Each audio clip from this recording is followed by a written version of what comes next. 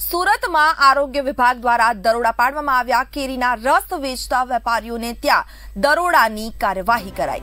કેરીના રસની ગુણવત્તાને લઈને કવાયત હાથ ધરાય છે. ત્યારે ફૂડ વિભાગે કેરીના રસના સેમ્પલ લઈ લીધા છે. મહત્વનું કહી શકાય, ગરમી આવી ચૂકી છે અને ગરમીની સાથે કેરીની સિઝન પણ આવી ચૂકી છે.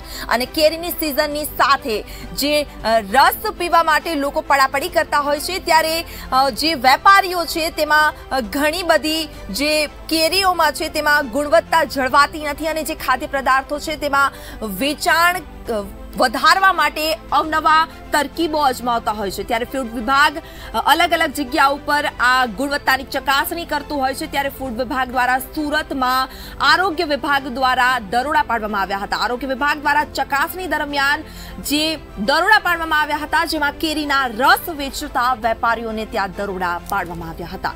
કેરીના રસની ગુણવત્તાને લઈને જે ફૂડ વિભાગ છે, તેના દ્વારા કાર્યવાહી હાથ ધરવામાં આવી હતી. કવાયત કરાઈ છે. ત્યારે ફૂડ વિભાગે કેરીના રસના સેમ્પલ હાલ લઈ લીધા છે.